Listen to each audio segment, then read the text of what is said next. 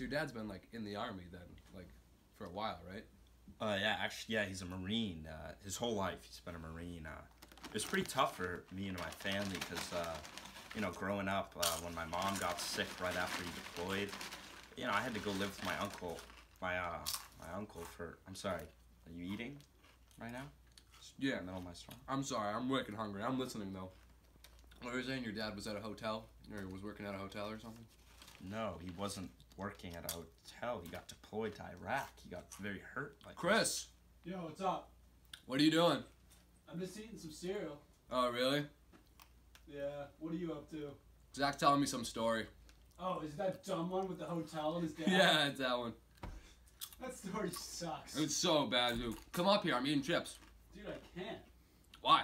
I gotta finish this cereal. Oh, what kind of cereal? Trix mi- mixed with Cinnamon Toast Crunch, mixed with Raisin Bran, mixed with... Hell yeah. Big baller brand over there, bro. Yeah, I Fucking mean, balling out on that I'm cereal. really into cereal. Yeah, cereal's pretty sweet. I'm eating some ridged chips. Uh, it's got sea salt. It's pretty sweet.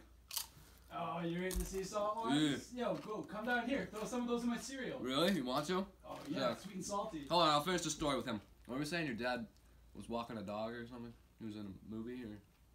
Hey, Chris, I'm coming, dude.